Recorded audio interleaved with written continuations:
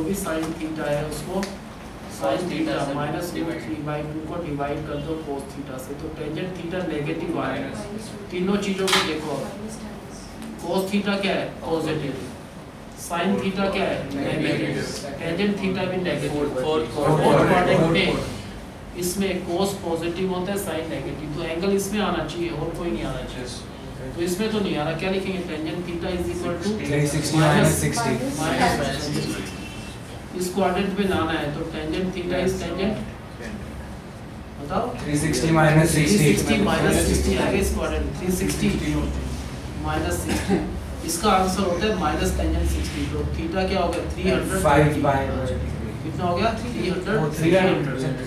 कितना होगा theta 5 by तो 300 कैसे प्रूव करेंगे? five by three. Adjust कर दो 300 हमने एंगल निकाला है कैसे फोर्थ करेंगे?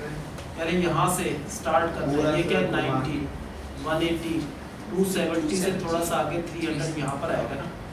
ये आएगा आठ 300? यूनिट इस पॉइंट से ओरिजिन से जो परपेंडिकुलर ऐसे जा रहा है। उस परपेंडिकुलर की जो लेंथ है वो तो एट ये परपेंडिकुलर किस पर है? तो ये परपेंडिकुलर यहाँ से जो एंगल बनाएगा ये सारा एंगल ये कितना हो गया? 300 डिग्री इसका फिगर आ गया।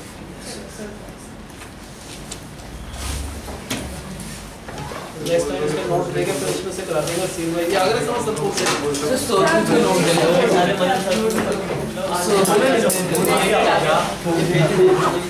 भाई झूठ बोल रहा है दो तीन लैपटॉप भी लिया सोचने पे